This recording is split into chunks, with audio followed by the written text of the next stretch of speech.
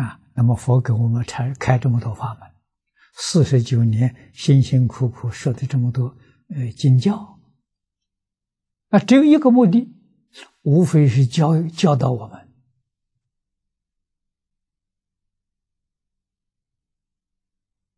找到一种方法，让你快快的回到一念去。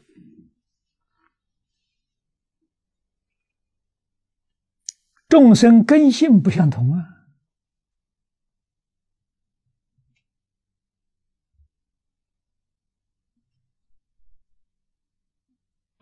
爱好欲望不一样啊，所以。佛就开很多法门啊！你喜欢哪个法门都行，门门皆成无上道！所以佛讲的很好啊，法门平等，无有高下啊！在你自己选择，选择怎么会成功呢？一门深入。长时熏修就成功。你要同时学很多法门，那就坏了，搞砸了，搞乱了。啊，修行这个事情最忌讳的、最怕的就是个杂乱，一杂一乱，全盘完了。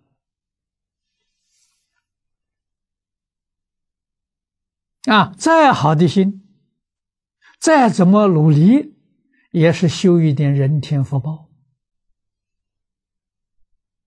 啊，与了生死、断烦恼一丝毫都不起作用。你看，这多可惜啊！那现在我们总算在世尊四十九年所说的一切经教找到了一个法门。现在真搞清楚、找明、搞明白了，这个法门什么？南无阿弥陀佛，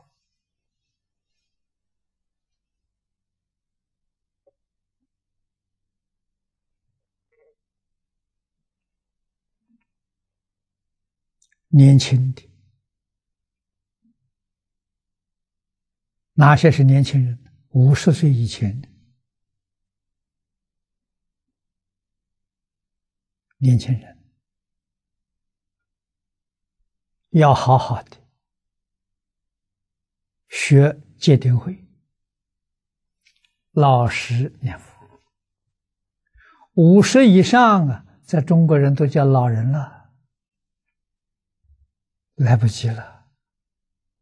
专念阿弥陀佛，啊，《弟子规》感应篇都不需要念了，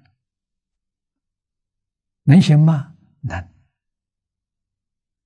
能够把一句阿弥陀佛，把所有妄想习气都取而代之，你成功了。这叫什么？这叫道共戒。就是这一句佛号里面，就具足了戒定慧三学。你不要再找麻烦了，就这一句佛号，圆满成就了你的戒定。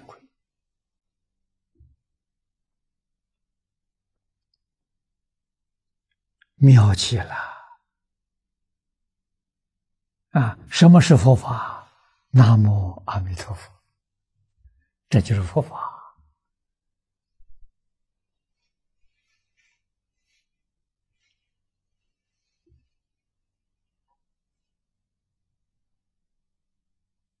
啊，真能念十年，十年开悟了。五十岁到六十岁开悟了，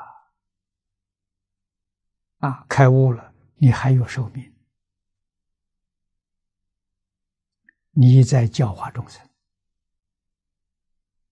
你在发心讲经说法，不难，你什么经都会讲，到那个时候，你智慧开了，你大慈大悲。给一切众生讲什么经呢？肯定你讲无量寿经，为什么呢？释迦牟尼佛这个末法时期九千年，只有这一部经能度众生，别的经都是好听，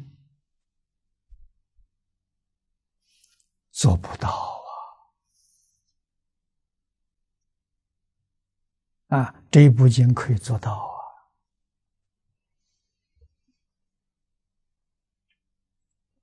末法集这个九千年呢？